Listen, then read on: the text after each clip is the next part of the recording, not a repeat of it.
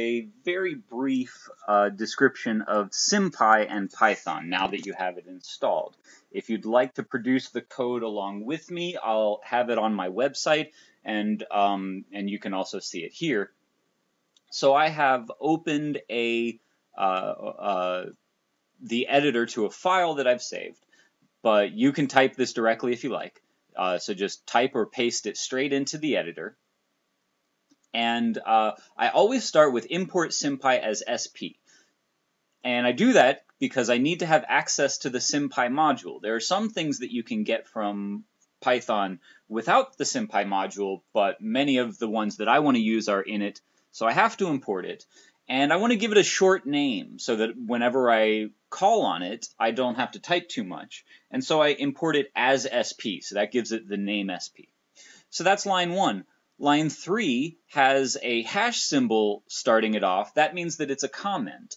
Uh, therefore, the computer is not going to run this line of code. This gives me the ability to just write something to you as a note. Uh, the next line creates variables. So uh, really we should start reading it right here where I use SymPy to declare a collection of variables, which, you know, this is it called the symbols function located inside of SymPy. And this function, you have to tell it the letters that you want the program to regard as if they're variables. Um, and so I, I want to use x, y, and z as my variables. You have to write in between these quote marks the letters, uh, whichever ones you want, separated by spaces. It has to be entered in that format for SymPy to know what you're talking about. And uh, this equation, or uh, equal sign, is used to store information in Python. And so uh, I store these variables as x, y, and z. It's a little bit difficult to explain exactly why I have x, y, and z over here and over here, but just know that this is the syntax for how you create variables. And so now I have x, y, and z as variables. Now, if I run this, nothing will actually happen. Right? You see down here in the console that nothing really happened because I didn't tell it to print anything. So here on this line, I'll uncomment the code, and on line 7, I'll just print x times y. And there you see it now printed something.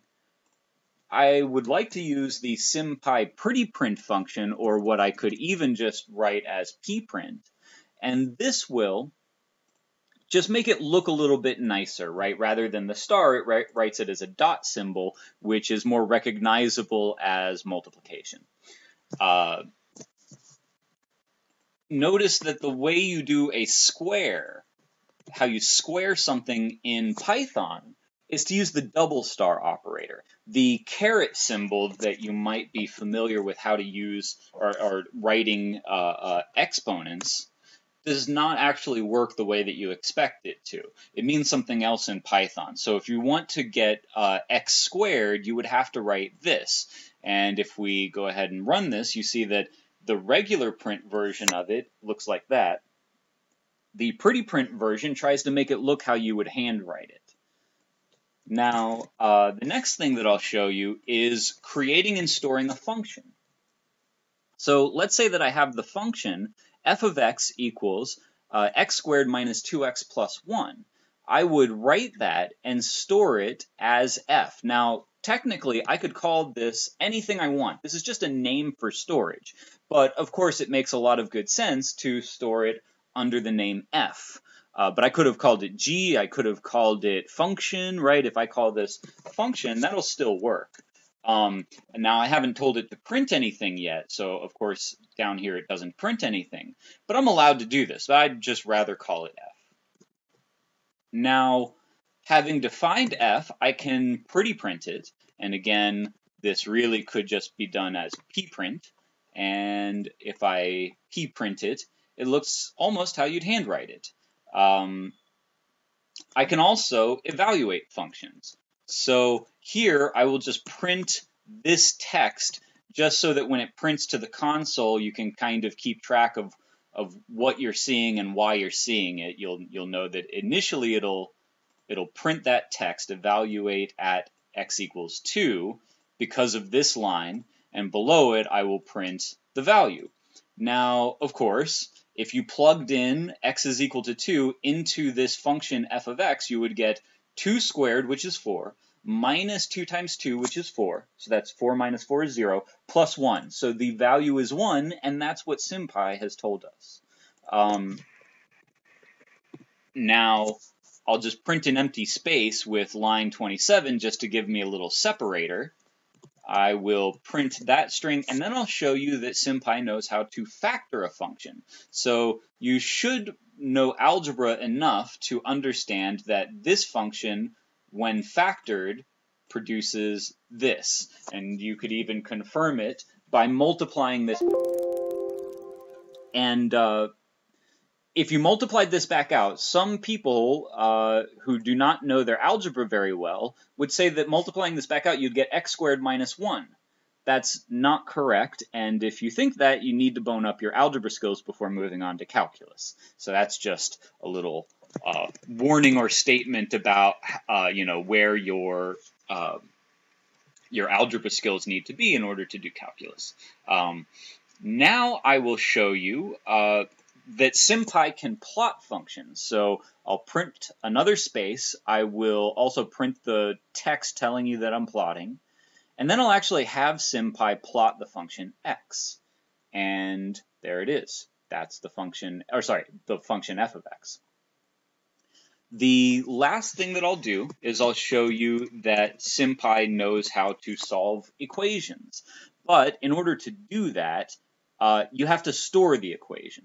So I'm going to have SymPy solve f of x equals 0, where, again, I'm still using this as f of x. Uh, first, I have to store the equation, so I use sp.equation to get the equation builder uh, function out of SymPy.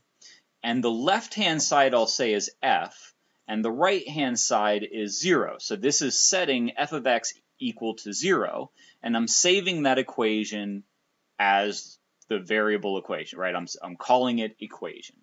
Now, down in this line, if you look first here, I am having SymPy solve that equation. Now, to print it out, uh, I could just print it out, but I want to print it out with some additional text to help, you know, keep track of what's going on. So, uh, I want to put, I want to turn the solution into a bit of text so that I can combine text with text and print that whole thing out. Uh, if that's a little too technical, don't worry about it, but the main point is I'm solving the equation, and you use this to solve the equation. And I'm, the rest of this is really just so that I can put things as strings, and that's just a little bit easier to print out. So here you go. I uh, solve for f of x equals 0 by creating the equation, and down here you see that the solution is 1.